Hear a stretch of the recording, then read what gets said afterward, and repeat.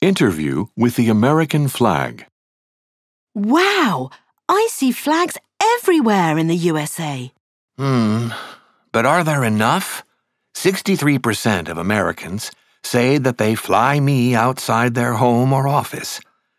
That's only two thirds of people. 100% would be so much better. After all, most kids grow up having to pledge allegiance to me every morning at school. So, what's the problem with the other third? Did they not get the message? But two thirds means Americans are incredibly patriotic. Oh, sure, sure.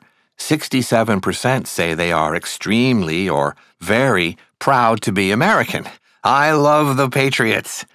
But do you know that almost half of 18 to 24 year olds think it should be legal to burn the American flag during a demonstration?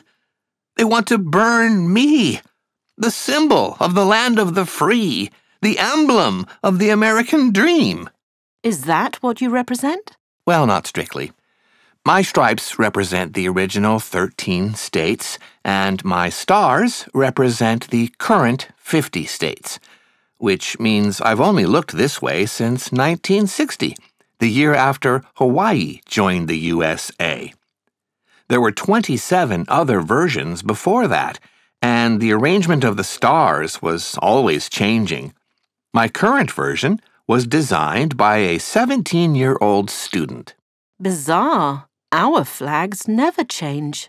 You Europeans are such traditionalists. The whole point of the American dream is that anyone can become someone and anything can happen if you want it to. It's about always dreaming bigger, the old making way for the new. So it makes sense that even the country's flag keeps changing. Don't you think?